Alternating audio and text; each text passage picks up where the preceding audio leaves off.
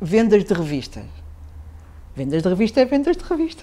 Não há como. Venderam, foram eh, impressas X revistas, venderam-se não sei quantas.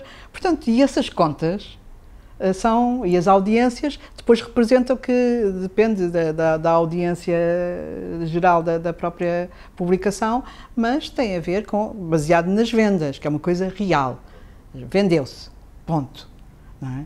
E, e, isso é uma coisa que, que nós, os mais velhos nestas profissões, eh, isso era uma coisa muito concreta, quer dizer, eram feitas, eram impressas X revistas, venderam-se X, têm sobras de não sei quantos. Ok, isso é uma coisa linear e, e que era palpável. Agora não. Uh, é, pronto, a gente acredita que sim, que todas as page views, uh, milhões de page views, e que os youtubers de facto são os, uh, os novos um, são os novos artistas, são, são todos super conhecidos de determinada geração também porque as gerações mais antigas nem fazem ideia o que é que são os youtubers e o que é que eles fazem e o que é que eles dizem e para que é que servem. Uh, são, são várias perguntas que muitas vezes me fazem.